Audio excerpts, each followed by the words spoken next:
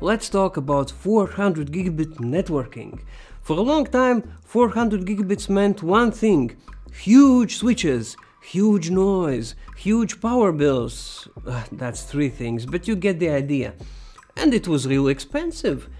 CRS 804 DDQ changes that.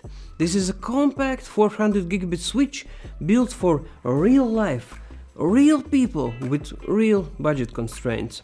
You will be running AI clusters, storage networks, and high speed backbones without the usual high, ultra high speed wallet pain.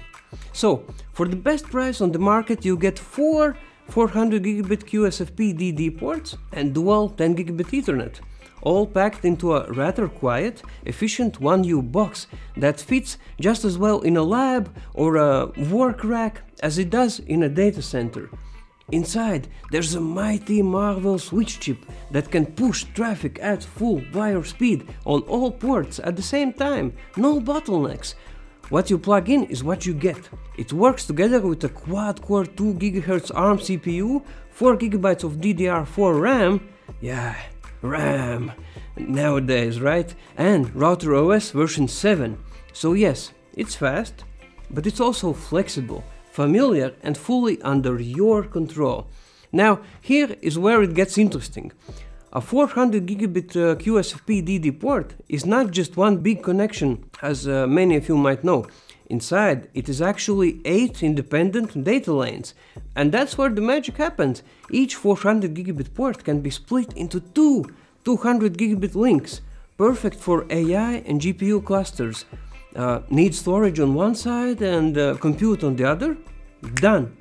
And if you're not at 200 gigabits or 400 gigabits just yet, that is fine too, because each port can also work as four lower speed channels like 100 gigabits or 40 gigabits. So you get both future proofing and the future itself uh, if the rest of your setup is up for the task.